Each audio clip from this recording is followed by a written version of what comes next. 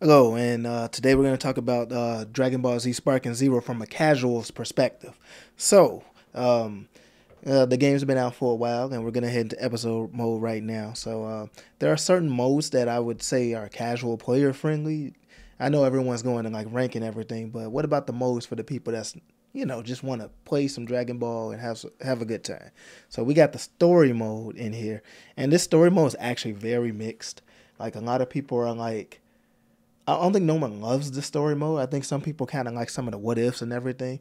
So um, the first thing you'll be greeted with is like a Goku story and everything. So you can go through his path and everything. And when you uh, go through Goku story mode, you see some screenshots, and the screenshots look kind of funny and everything.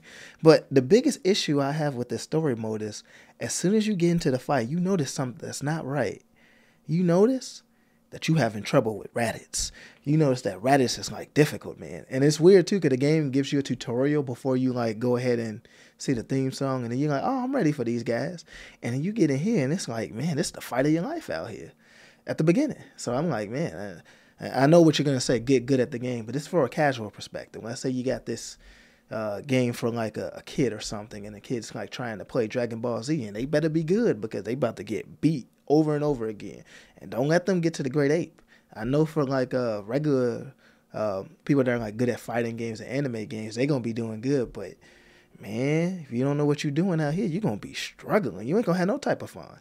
And I don't think that's good on a casual level. Like even if you lower the difficulty and put it on weak, you still might struggle.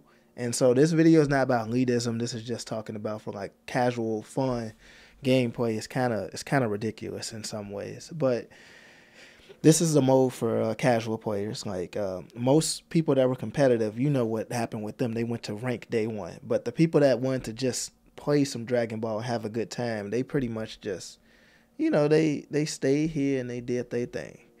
So the the good thing about this mode though is this mode does like uh, have what ifs.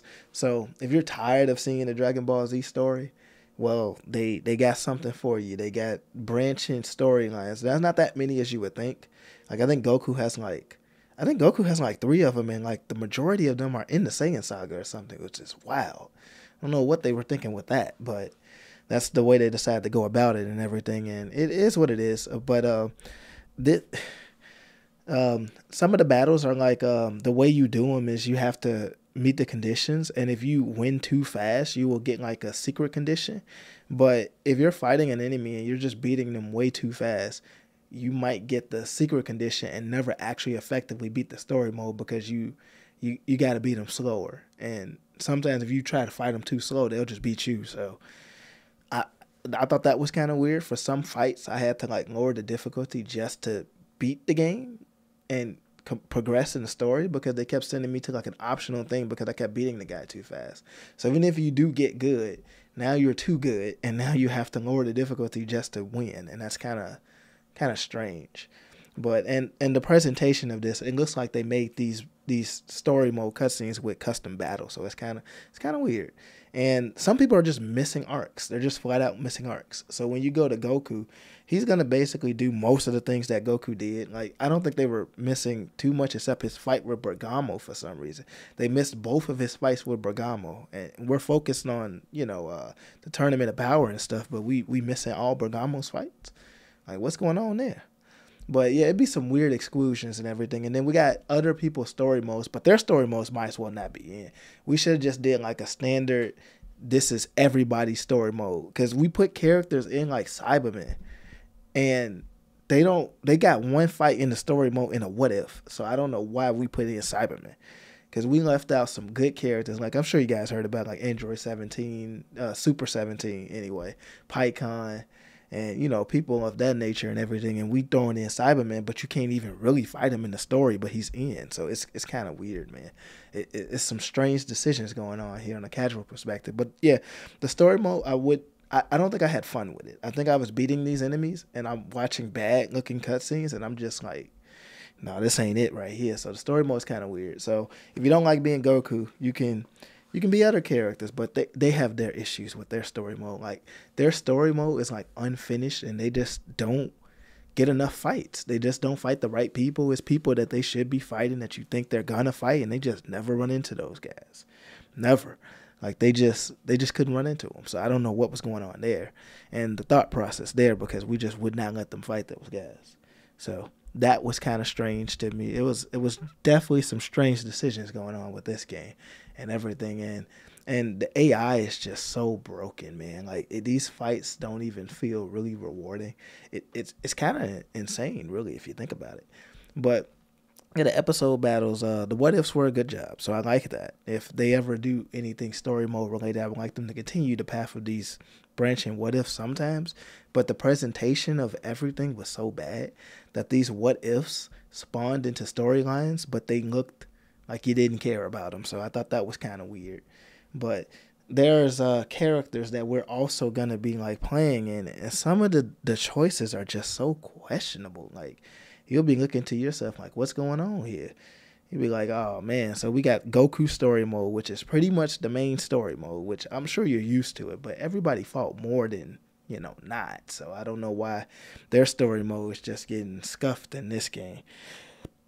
And the way they did Piccolo, man. Piccolo was done so weird. But I, I don't know. It, it's it's it's mixed. Like I would say the story mode is is is it, it, might as well have not been put in the game. I would have rather we put in Galaxy mode from like uh Raging Blast 2. But like Vegeta, he just does nothing. Like Vegeta just didn't even get super. Gohan, he did more than you would think, but no Namek Saga and no Saiyan Saga. Piccolo, just just nothing but basically just the Android Saga. Like what happened with Piccolo? Piccolo just didn't do anything. Future Trunks just was in Future Trunks arc, and he gets to Tournament of Power in a What If, which is odd, but it's better than nothing. Frieza, Frieza actually did most of his fights. I think they did Frieza's story good, so he was he was fine. Uh, Goku Black, they basically uh, just had him in some nonsense. It was horrible. It was just terrible. And Jiren, he did only things that Jiren did, and even his branch and story mode seemed like the same story mode. So they messed up Jiren. And that's the end of uh, the episode talk. So now we're gonna roll into like the custom battle mode, so I can uh, share some thoughts. Oh, with the custom battle mode. So you look at Trunks with that tablet over there, he getting it rolling. So when you get into the custom battle mode, you're greeted with like the bonus battles, and they already have some custom battles that were pre-made into the game, I guess by the developers or something, and you can do these. I made my own. I'm basically in the works of uh, recreating the story mode because they gave me such a, a bogus story mode that I'm trying to make a casual experience for myself. So I'm I'm pretty much recreating the story mode right now with these uh custom battles and everything and yeah, I'm gonna go to one. I'm probably gonna go to the one with Nappa where he just beats Tien. So I'm doing it from the perspective of the villains too when they win. So I'm not gonna beat Nappa knowing full well that Tien and uh Chaozu got beat by Nappa. So I'm I'm on the verge of uh, recreating. But here's another issue. Here is making the dialogue. Man, making the dialogue is so difficult in this. So we got the fall of Tien. You can make a, like a Dragon Ball Z title and everything. So I see where they were going with this, but making the dialogue just made it just so annoying. And look at this Tien. This Tien is going to be spamming uh, supers on me left and right. So I, I don't know how to control this AI right here. This AI going mad, man. But yeah, custom battle mode was for us to. Uh, uh, is it just for us to fight the CPU? Because like, like it, they want to say that we get to get creative with making like the beginning and the ending of this, but at the end of the day, we're just fighting a character. Like there's no, there's nothing like ultimate battle mode or something where you're being, you know, you're going through a checklist or something, or just, I don't know. I, I, I think the custom battle mode might not be good. I know it's a high take, but for a casual perspective, we got to sit in here and, and make these battles instead of just playing uh, our character versus the CPU, and it seems kind of weird. So they they they really did just give us this make make your own battles and stipulation mode, but I, it's so taxing and tedious to make these modes that it's not even funny. And then later on in the video, I'm gonna demonstrate me attempting to make one so you can see what's going on. But like this custom battle mode, man, like it it, it need a lot of work it, it need a whole lot of work. It need patches upon patches. They need to sort this stuff. They need to make categories so we can search things. Cause like making a custom battle mode is probably the most not fun thing I've done in a game in a long time. And it, it is it is not right. And then just to get into a battle and then I just got to deal with, you know, Chaozu out here. It's just it's it's just kind of weird. So for um, a casual perspective, custom battle mode is a casual mode. I will give it that. And you can make these guys weaker so you can get through it. So I, I think it's a better casual mode than the story mode in a weird kind of way. Except the only issue is that the casual mode here the barrier to making these battles is the most annoying thing ever. Now there's there's some caveats around that. Maybe you just don't make these battles and it's not that bad. So as you can see, Tien's on the ground and we beat him. And I didn't write no dialogue, and you're about to see why. So we're gonna we're gonna head into the um to the create creator mode so we can actually see how we actually like you know will create something like this. So I'm gonna go to normal edit. If you go to like simple edit or something, they'll just make you some bootleg. It, it's it's kind of ridiculous. So you want to go to normal edit. Uh, you want to choose your characters. So you can go to the character tab. You can put in anybody that you unlocked theoretically. I think you can put people that you unlocked in there. And then you want to go to like uh, choose the stage that they're gonna appear on. So you know you can pick the city, world tournament, Rocky Mountains. You know all the stages. So pick your stage. Cause that's where you're gonna fight on. And then you got this effect thing where you can just put so many different things. I get overwhelmed by that. I don't go to it. Um, you here's this where you can choose the scenes. So as picking the scenes, you can uh, you know, put the dialogue and the character and the thumbnails on there. You can put all of that stuff into the game. And it is tedious because now you got to scroll down, pick the scenario where they just standing there. But how do you want them to stand? Do you want them floating in the sky? Nah, put them down here by the island. Okay, they just sitting there chilling at the world tournament. I kind of like that picture of Frieza right there. Here's nothing. They're showing me nothing on that one. So the issue with these two is that they got they just don't show you anything almost on some of them. And then now you can go to your characters and you can go ahead and uh pick the character that's assigned there. Like for example, we got find Goku, Goku Z mid. There he is. You can put some uh you know a stance for him, his hand on the shoulder. I guess that's gonna do something and then you can put his expression but since he's backwards i don't think i can really see his expression but maybe the camera will turn. So over here you got Frieza. You can go ahead and change his stuff. Put his hands behind his back or something if i can find that one. There we go. Hands behind his back. Like he ain't stealing nothing. That's just Frieza over there. It's gonna be fine. So we got Frieza over there just you know just chilling as as Friezas do. And it's just man it's just it's, it's just so tedious. Look at this and then you got um this where I gotta find the name of the character that I'm using. I don't know why that's not automatic. And I can't find the name. So I'm just gonna call him Garlic Jr. right now. And Garlic Jr. gonna say, take this angry command, Kamehameha. And and there's a filter button. I didn't press it in the video, I kind of forgot to, but when you go to that filter button, it filters it into scenarios and you still gotta find the thing you're looking for. You don't know what you're looking for because you don't know what their dialogue is. So now um, I will find the name Kakarot down here, which I wish I found it before, but uh, let me go to there we go, Kakarot. I'm about to put him Supreme Cat, man. So we're gonna go ahead and put some dialogue for him and look the struggle is real too, because I found I found whatever what's I'm gonna find? There we go. I found this. And now this is just man, I just don't know what to put on here. Like where's Frieza's name at? Can I get Frieza in there? Nah, I can't get Frieza, so I guess I will I will uh game you for us. I mean, uh, what we gonna pick? You spectator. All right, to defeat spectator. Okay, so we gotta defeat the spectator because like look at this. Like this this is just horrible. Like I don't know what we were thinking here. And when I'm seeing people making custom battle modes, you gotta be up in here for like a day almost. And just to get some type of fun scenario. I understand what we were trying to do with this casual mode, but this casual mode is not Mario Maker. This is this is just not correct. So hopefully they they they patch and add something to this because this needs some help. And then as you can see, I did the thumbnail thing to check and make sure that the thumbnail is good. But I guess it's moving too fast because I guess the frame one thing or whatever, I got to set that off and let's see how it performs now so I can see my dialogue and everything. Let's see. Is my dialogue? There it is. Yeah, this don't make no sense. like that don't make no sense at all. But yeah, that's that that's how it is. This is how the custom mode is. This is the mode that they promised us would be our infinite mode to enjoy this game for years to come. And it just sucks, man. It's it's just sad. So we losing on the casual side. We got story mode, which is kind of bogus. We got uh, custom battle mode, which is also kind of bogus.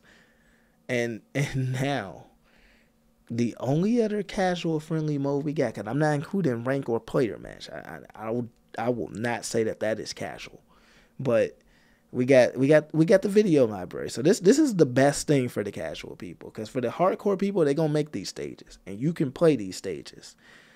But if you if you try to make them, it's gonna be annoying. So just go ahead and play people stages. There's enough people that's dedicated to the game that's making these stages. And on the PlayStation 5, which is where I'm playing it, this stuff is fine. But on the PC, oh, they got some issues there. But on PlayStation 5, you should be fine. So now we're gonna roll over to the other modes just so you can see the scream and everything. So we got battle, super training, world tournament over there. You know, those other modes that, you know, should be there or whatever. So we're gonna transport ourselves. There's Zeno and his stamps. There's the shop with Krillin. There's the encyclopedia. There's Summon Shenron. Man, we going quick too. I'm getting past that. So let's go down the world tournament and start an offline world tournament and let's get going. So this is the last casual mode. And we've had world tournament in pretty much all of the Budokai games except for Infinite Worlds for some reason. Like Budokai's and the Tenkaichi, they had the world tournament.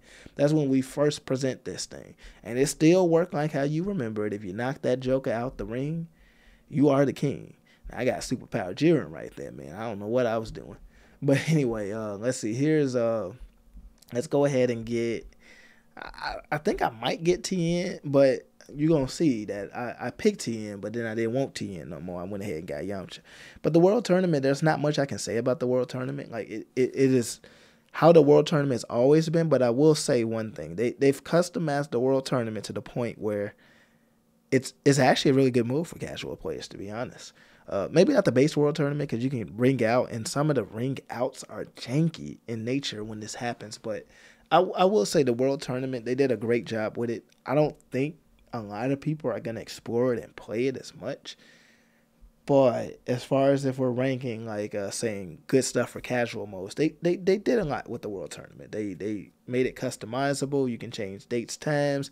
You can have a team in there now. You can you can do a lot in the world tournament. So I think the world tournament mode, they they knocked it out of the park. They did better and added more things in the world tournament. Now, now we're picking Yamcha than I thought they ever would. So from a casual perspective, uh, you got episode mode, uh, custom battle mode. I guess you got player versus computer if you if you want to do that, and you got the world tournament. And the world tournament is what's making me say that the content is okay for this, but it's still kind of weird to see that we we went with custom battle mode instead of any other potential modes that we could have went with. So uh, I I guess that's about it. There's not much more I want to say and have to say on that. I I can let the gameplay just just go at this point. But uh, let me know what you think about this. Is how this game is for a, a casual player in the comments below. And and if you think my hot takes are kind of weird, they're too much or whatever I do understand, but that's basically what I think about this game, and uh, I do think that the, the, these are the casual modes, and I tried to explain them a little bit to the best of my abilities here. So hopefully, I had some good takes on some of them or whatever, so you know what to expect. But yeah, hopefully they balance this AI a little bit, because I don't want them weaker, but I want them blocking attacks less than they are doing. And then I think that'd be better for a casual player because they want to get in there and beat some guys. Like, if if they want to struggle, we got rank mode for that. They don't want to struggle in the main story on every fight, unless that fight is like Frieza or you know one of the main fights. But against Cui, we struggling against Cui because we can't beat beat Cui. Look, look at this Doctor Gero. He just keeps stealing health right now. But yeah, that's what I'm talking about. You can't you can't really have too much fun as a casual player. You're gonna be you about to get beat out here. This gonna be the fight of your life out here in Sparking Zero. This gonna be hilarious. But yeah, I guess there's nothing else to talk about for a casual perspective. Um, yeah, that's about it. Uh, I think that's all we have now that I think about it. And I guess the casual people will like looking at the uh, the commentary too of commentary of the characters. But yeah, that's about it. You got episode mode, which is lackluster at best. You got custom battle mode, which was a a, a, okay ideal, and the execution was just horrible. So that kind of went to the wayside. You got the World Tournament, which they did a phenomenal job with. They they they really tried on the World Tournament, which is weird because no one really goes to it or anything. And you can even do World Tournaments online. Uh, I tried to get some of those going, but it, it, it gets so annoying. But yeah, they, they gave it online too. So that's the other good thing about that. But World Tournament was great. And player versus CPU, of course, that that should be good. I I hope they didn't mess player versus CPU. Oh yeah, and they got split screen so you can play with your friends, but you can only play uh uh the hyperbolic time chamber stage. So that's yeah, is what it is. But this is some of my thoughts about it. I'm gonna like review this game at at a point, but most of this stuff is a good chunk of the game right here. So maybe I will, maybe I won't. Let me know if you want to hear a review. This might just be me just talking about the game as it stands right now, but it, it, it's a good game. Um, I just wish there was more stuff for casual fans to like partake in and enjoy, because it seems like they made this for just the people that want to go fight on rank all day, but uh, it's it's unbalanced like crazy. Like people are having their own issues in rank, and I didn't want to really talk about it too much. I can talk a little bit about my experience with rank, and my experience was I didn't run into too many rage critters on the PlayStation Five, um, but everyone was picking Super Saiyan 4 Gogeta. They don't pick the rest of the GT characters, just Super Saiyan 4 Gogeta. And I didn't run into the Yajirobes too much either. People were pretty fair in DP from when I was running into, but I heard about the Yajirobe struggle. I just never was in it. Um, yeah, people were just picking Super Saiyan 4 Gogeta Ultra Instincts. I would beat them sometimes. Sometimes I would cave and then pick a strong character too because I tried to go in there with weak characters like Bergamo and uh, Zamasu and stuff, and it just was not working. I was just getting beat by Gogeta. So I don't know. Rank has its own issues. That might be a separate video down the line. I might have to play more rank two before I can really diagnose this. But here comes one of the funniest things in this video. Watch this. I'm out of bounds. I just dropped. So Cui wins the tournament. But anyway, I hope you guys enjoy it. I'm uh, Outlineman, and I lost the World Tournament to Cui, which is fitting because we were talking trash about Cui. And hope you enjoy it, and I'll see you guys in the next video. Take care. Bye.